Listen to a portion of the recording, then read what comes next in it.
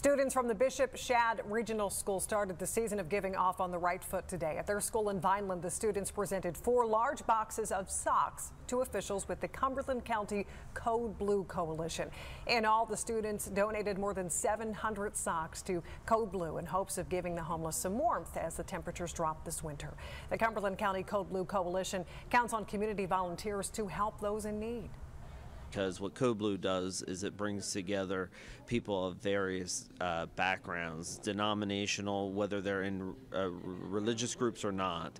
Uh, we all recognize that we have a responsibility to take care of our neighbors uh, that especially can't take care of themselves during these cold winter months, and we want to make sure that no one freezes to death on our watch. Code Blue is a grassroots movement by churches and community members and is funded by donations made to the M25 initiative. The main function of Code Blue is to provide emergency shelter during frigid temperatures.